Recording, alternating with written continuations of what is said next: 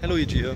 Maybe you have seen the post from Dan and Marek who are right now at the FISO meeting in Switzerland and wondered why is the PR advisor not there to discuss with our partners. That's because I'm at the German Geography Congress in Berlin and here are over 2000 um, geographers from all over Germany, Switzerland and Austria and they're discussing matters of geography and science in school and in daily life as well as at work.